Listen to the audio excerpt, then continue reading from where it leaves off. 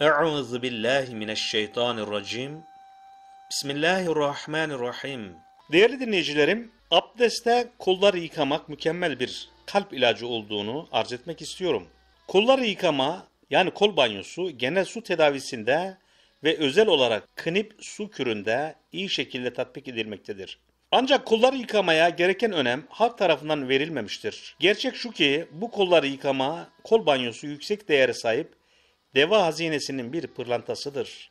Kol banyosu kolların bir kap içindeki soğuk suya sokulup 30 saniye kadar su ile temasa bırakılması ile icra edilebilir. Kolların yıkanmasını müteakip kurulanıp kapatılmalıdır.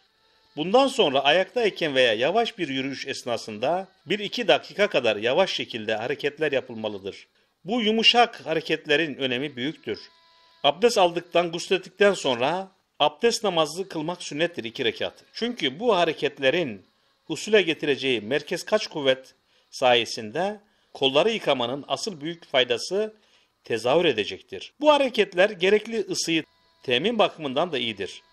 Akılda tutulması gereken başka bir önemli bir husus, kolları yıkama işleminin gündüz ve gece istenildiği nispette tekrar edilebilmesidir. İbadette hassas olan insanlar kol yıkama işini gece ve gündüz ibadetleriyle yapmaktadırlar. Bu şekilde tatbik edilen kolları yıkama özellikle kalbinden şikayetçi olanlar tarafından çok sevilip takdir edilmektedir. Bir uzman şöyle diyor, bu şekilde tatbik edilen kolları yıkama özellikle kalbinden şikayetçi olanlar tarafından çok sevilip takdir edilmektedir. Böyle yüzlerce hasta bu kıymetli tedavi şeklini kendilerine bildirdiğimden dolayı teşekkür ettiler. Kalp üzerinde baskılar, etrafında batmalar, huzursuzluk vesaire kolları yıkama ile hafiflemekte, ekseri halde yok olmaktadır. Rahatsız edici kalp çarpıntılarında da çok müspet tesiri görülmektedir. Kalp krampları denilen rahatsızlıklarda 40 derece sıcak su ile kolları 1-2 dakika yıkamak tavsiyeye şayandır. Bunun sonucunda derhal bir rahatlama olur. Nefes darlığı, ağır astma vakalarında sıcak kol banyosu yani sıcak ayak banyosu ile beraber hafifletici, rahatlatıcı tesire haizdir. Kollardaki romatizma ve nevraljik ağrılarda, nikris kan zehirlenmelerinde sıcak kuru ot çiçeği kol banyoları harika hizmetler görür. Bunun için kollar önce 2 dakika 40 derece sıcaklıktaki kuru ot çiçeği suyuna daldırılır. Sonra 30 saniye soğuk suya konularak 2 defa değiştirilir. Ağır nikris hastalığına düçar olmuş ellerin meskür kol banyosu ile tamamen iyileştiğine şahit oldum diyor. Nahoş bir durum olan soğuk veya çok sıcak eller her iki durumda da kan dolaşımındaki aksaklıklara işarettir.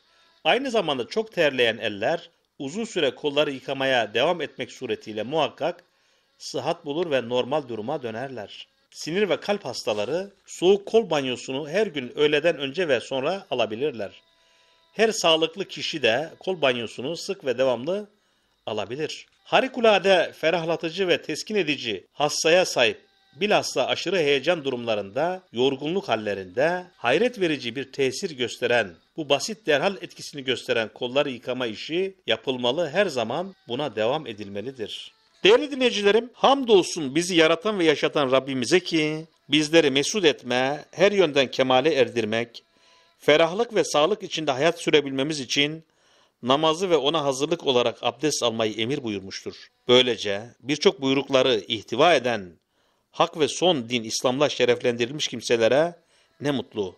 O yüce dini bizlere ileten, bu uğurda her türlü çile ve meşakkate fedakarlıklarla katlanan sevgili Peygamberimiz Aleyhisselatü Vesselam'a salatu selam olsun. Onun deniz ve yıldızları kıskandıracak parlak ashabına ve ehli beytine bütün kalbimizle minnet ve şükran olsun. Yemekten önce elleri yıkamak sünnettir. Kollarını yıkamalıdırlar. O zaman vücutları ferahlayacak, ruhen teskin olmuş ve zinde şekilde yemek yiyecek, iki misli lezzet ve fayda temin etmiş olacaklar. Kolları yıkamanın faydaları çok yönlü olup, ehemmiyeti, insan sağlığına müspet yönde tesiri büyüktür. Bilhassa biraz önce ifade etmiş olduğumuz kalbinden şikayetçi olanlar kalp hastaları için terk edilmemesi gereken bir zarurettir.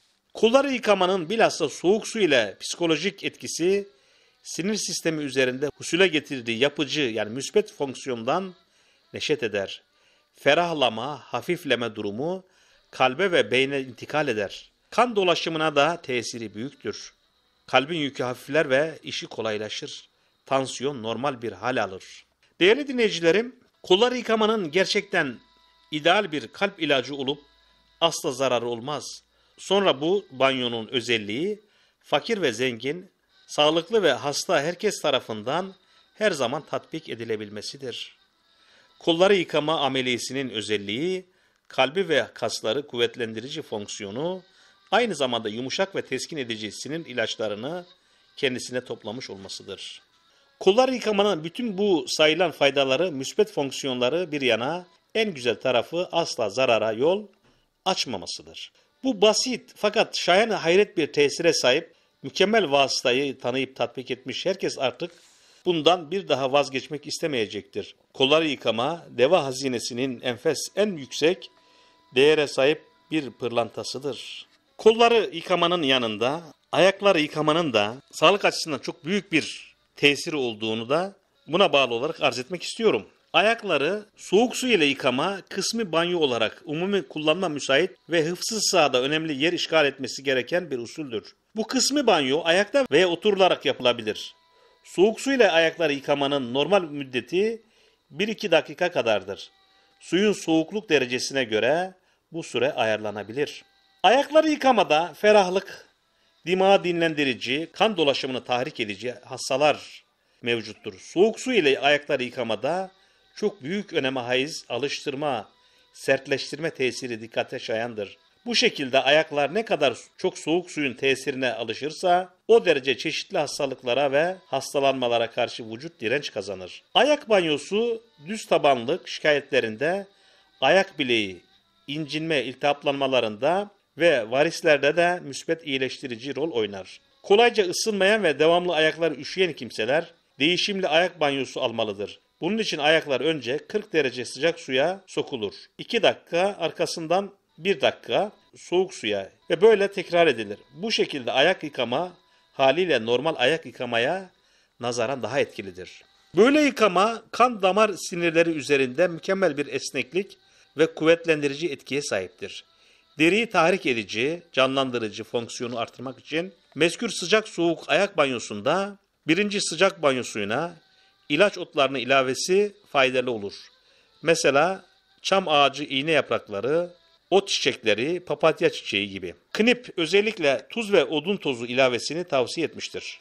Prensip olarak ayakları ekseri zaman üşüyen kimseler soğuk su ile ayak banyosu yapmayıp ya önce ayakları uygun hareketlerle ısındırmalı veya ayaklar ılık su ile yıkanmalıdır. Başta izah ettiğimiz basit tarzdaki ayakları yıkama herkes tarafından bilhassa akşamları yatmadan evvel tatbik edilmelidir. Bundaki fevkalade müsbet tesir kendisini öyle gösterir ki uzun zaman ayaklarını yıkamaya devam eden kimse artık bunu bırakmaz ve her zaman bu çok faydalı dinlendirici, ferahlandırıcı tesirleri olan kısmı banyoyu yapar. Gün boyunca zihnen çalışan ve dolayısıyla yorgunluğa uğrayan başına, kan hücumuna meyyal kimseler bu günlük ayak banyosunu bilhassa akşamları uykudan evvel alışkanlık haline getirmelidir. Ayakları yıkama her gün yapılması gereken ve yapılabilecek bir işlemdir. Değerli dinleyicilerim, abdest alan insanlar her zaman, her günde yaparlar bu ameliyeyi.